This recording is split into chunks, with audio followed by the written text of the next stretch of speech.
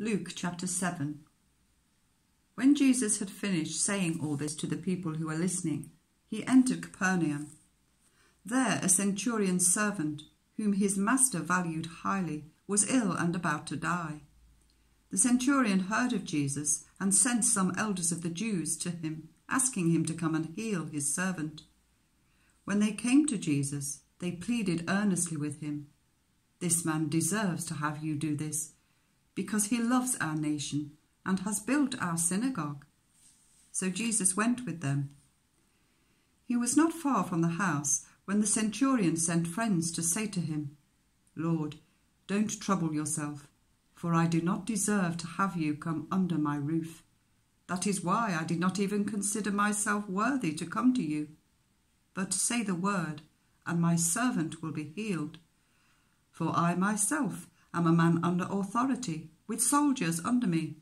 I tell this one, Go, and he goes, and that one, Come, and he comes. I say to my servant, Do this, and he does it. When Jesus heard this, he was amazed at him, and turning to the crowd following him, he said, I tell you, I have not found such great faith even in Israel. Then the men who had been sent returned to the house and found the servant well. Soon afterwards, Jesus went to a town called Nain, and his disciples and a large crowd went along with him. As he approached the town gate, a dead person was being carried out, the only son of his mother, and she was a widow. And a large crowd from the town was with her. When the Lord saw her, his heart went out to her, and he said, don't cry. Then he went up and touched the bier they were carrying him on, and the bearers stood still. He said, Young man, I say to you, get up. The dead man sat up and began to talk, and Jesus gave him back to his mother. They were filled with awe and praised God. A great prophet has appeared among us, they said. God has come to help his people. This news about Jesus spread throughout Judea and the surrounding country. John's disciples told him about all these things. Calling two of them, he sent them to the Lord to ask, Are you the one who was to come, or should we expect someone else? When the men came to Jesus, they said, John the Baptist sent us to you to ask, Are you the one who was to come, or should we expect someone else?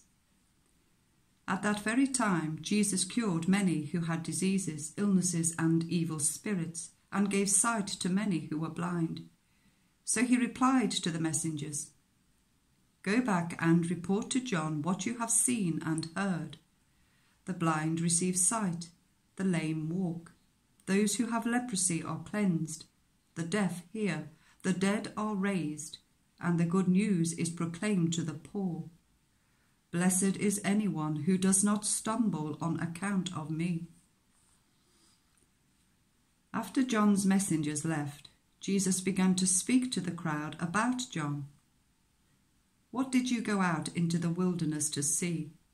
A reed swayed by the wind? If not, what did you go out to see?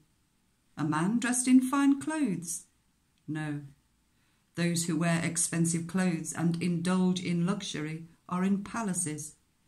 But what did you go out to see? A prophet? Yes, I tell you, and more than a prophet. This is the one about whom it is written I will send my messenger ahead of you, who will prepare your way before you. I tell you, among those born of women, there is no one greater than John. Yet the one who is least in the kingdom of God is greater than he.